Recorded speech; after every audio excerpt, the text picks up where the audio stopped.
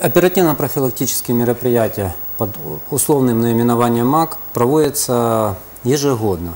Это не первый раз, это на постоянной основе. Сотрудники полиции проводят эти мероприятия, и они будут э, проводиться в летний и в осенний периоды.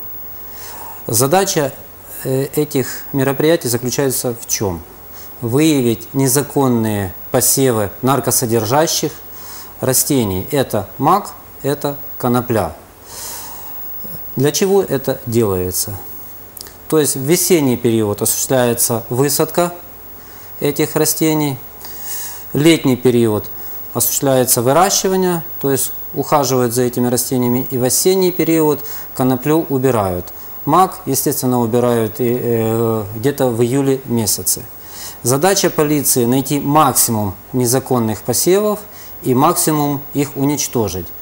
Цель в чем? Чем больше мы выявим и уничтожим, тем меньше этого наркосырья попадет в незаконный оборот, то есть к молодым людям, в города и села. Основная задача этих мероприятий. На сегодняшний период, за, ну возьмем за декаду, э, сотрудниками э, полиции Николаевской области уже выявлено около тысячи наркосодержащих растений. Это конопля, это мак.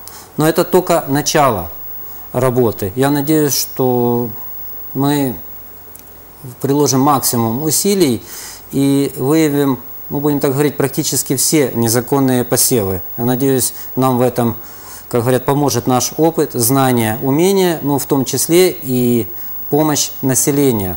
Я надеюсь, что граждане не останутся в стороне и максимально нам помогут в этом деле, потому что на кону это, э, ну будем так говорить, надеюсь, я не громко скажу, здоровье нации, во всяком случае.